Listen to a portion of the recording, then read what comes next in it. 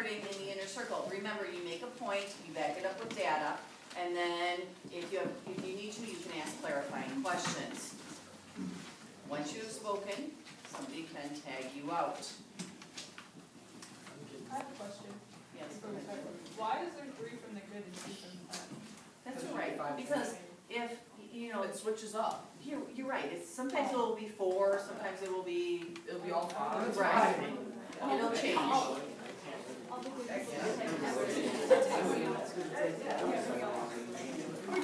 right, um, I do expect everybody to participate today. So, you will all tag in at some point in time. Ready? To. So, I'm gonna start the conversation, which means you guys are not talking. Only there, only the inner circle is talking. So, antibiotics were discovered in nineteen twenty-eight by Sir Alexander Fleming. Since that time, people have believed that antibiotics are good or antibiotics are bad. How do you feel about antibiotics?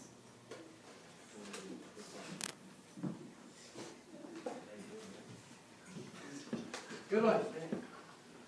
Okay, I don't think antibiotics are good because I feel that doctors and are pressured by like patients and other people like to prescribe things and I feel like it's overprescribed. I found that, um, thirty-six percent of patients in nineteen ninety-nine were given antibiotics, antibiotics, and then in two thousand eleven, it went up to fifty-one percent. And I found that on Garden.com.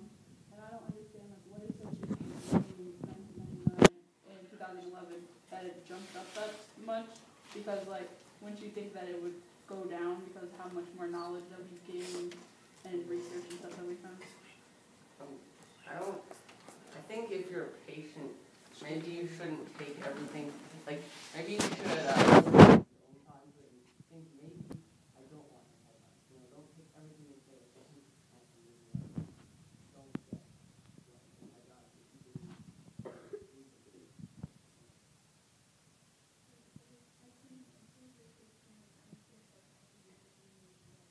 Um, antibiotics are proven, or are stated to do that, but since we're overusing them, it's making our immune system weaker, and so we can't fight diseases that we need to be able to fight without antibiotics, because soon they're gonna run out. Right, but yeah, that's human error. That's not the antibiotics, that's the humans and the doctors who are like, oh, you say you need this, alright, yeah, let me just give it to you. But, okay, but also, if you're going to the doctor, don't you wanna be able to think that, oh, I can trust my doctor, like, they went to school and that's what you're, go- like, you're going there, so shouldn't you think that, like, oh, what they say or what, like, not saying that, that you should listen to them, but you, that's what you're gonna do, because, That'd be nice, but I mean, in any field, like, you can't take, like, people will make errors and stuff, like, you can't believe one hundred percent what anyone is.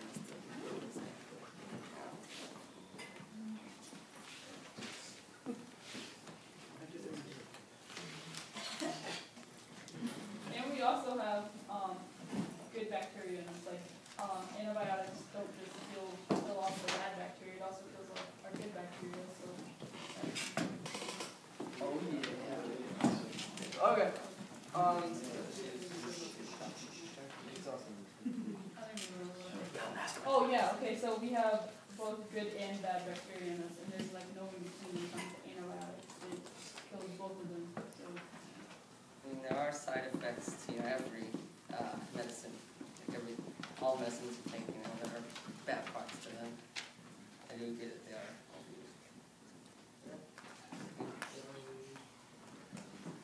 You were, I think you were talking about the microbes, right? Or how some are good, some are bad. And then, but it kills both of them, Yeah. so. Yeah. That's, that's not good. And then it, it uh, lowers your immune system, and then you're more susceptible to, uh, more diseases. Yeah, I, I found that, um, in more than twenty-five percent of cases, antibiotics, antibiotic prescriptions were useless because infec- infections stem from a virus which cannot be treated with antibiotics. So like, what is a, like you're taking this antibiotic because you think that you're gonna get better, but often you're not. You said twenty-five percent. Yeah. So, it doesn't work twenty-five percent of the time, it's seventy-five percent of the time. No, and more than twenty-five percent, so. in- But roughly. Yes, that's what she's saying, okay? Well, I'm just saying, sounds. It's alright, it's alright. No, I'm, I'm just saying, so it sounds like it's working more than. That, that rate should be lower, I don't think Yeah, it's it's a Hall of Fame. acceptable. I mean, there's medicine, there are downsides, not for. Well, to go off what um, Selena said, is if you take antibiotics when you have like a viral infection, it kills the good and the bad, but and that pro- promotes antibiotic resistance. And so in 2013, there are about 480,000 new cases of multi-drug resistant tuberculosis. Which, uh, which good ones does it kill? Does it, do they like regenerate quickly? I don't, I don't know to say good. There's good ones, there's bad ones and good ones. Do they never come back or? No, they do, they can, that's what she just said. They regenerate? Okay, so when it comes to like the good and bad bacteria, um, it, what happens is the antibiotic comes and it takes, and it kills bad bacteria and the good bacteria, but the antibiotic also makes the bad bacteria that it doesn't kill resistant, so then that same antibiotic will not work on that certain, bad, bacteria again. And then you have no good bacteria to fight off that bad bacteria. Does it go back? I don't know, like which good bacteria is it? It doesn't, from what I found, it doesn't grow back, it just turns into bad bacteria and gets stronger and then you can use an antibiotic. And since there aren't a lot of antibiotic drugs right now and they're not coming out with any new ones, um, you're running out of good ones to use. Do you regret every time you've ever taken an antibiotic?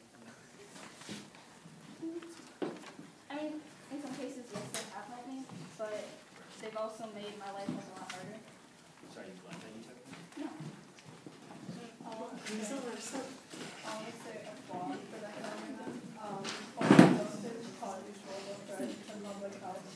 So it says that, um, overuse contributing towards the growing number of bacterial infections, which are becoming resistant to antibacterial medications, and so it's causing antibiotic resistance when we use antibiotics, which is a serious threat, because if you can't find anything to ward off this and it becomes something that's super negative, then it's also Yeah. for your immune system. Yeah, and I also found like in two thousand thirteen, um, two million people annually acquire serious infections from bacteria that are resistant, and two thousand, or twenty-three thousand of them die. So it causes people to die because they're resistant. I'm gonna interrupt you on this one, sorry. If we, we could bring this back to the beginning, like even before antibiotics, six per, or zero point six percent chance you had of women giving birth.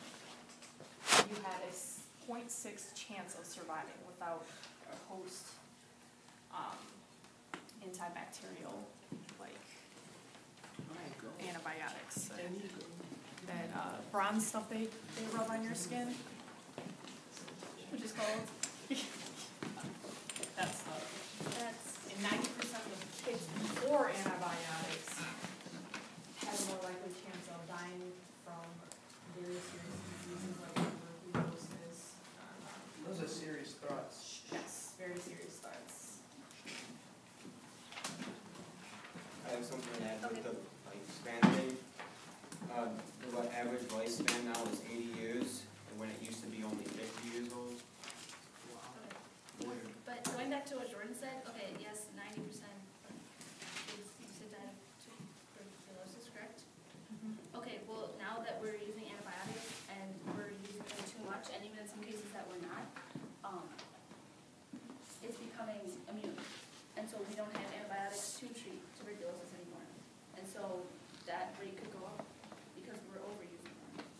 And we're not using them the correct way and I very agree, but I'm gonna bring this back to Mason's point earlier that it's fault on the taker's side, that they take too much of it, um, and maybe an overdosage.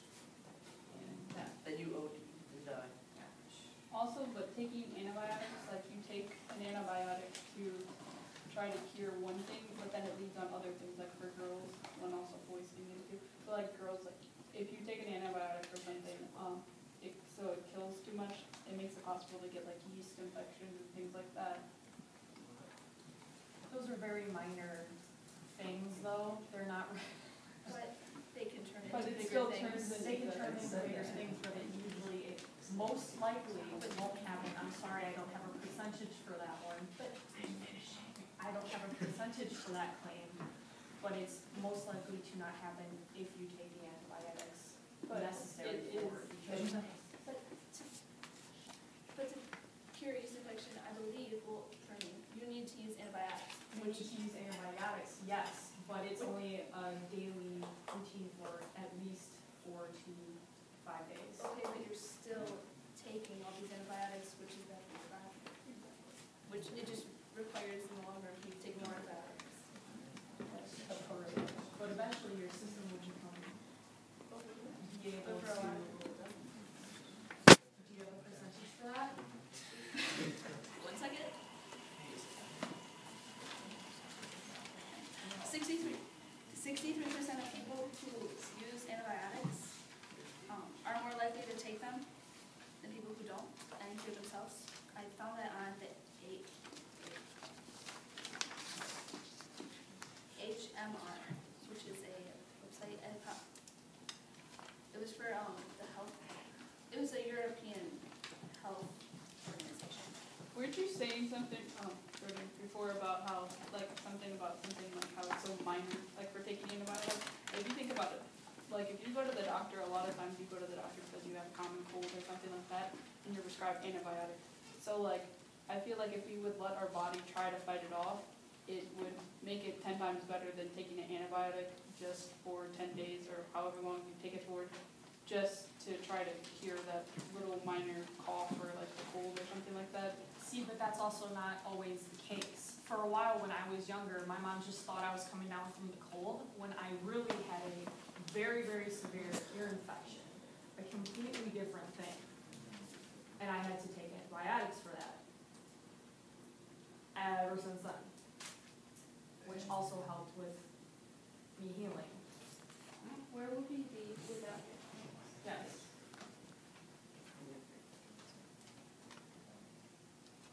Because, uh, since antibiotics, like before the vaccinated or like antibiotic era, uh, since then, eighty-three to hundred percent, uh, like of deaths have lowered.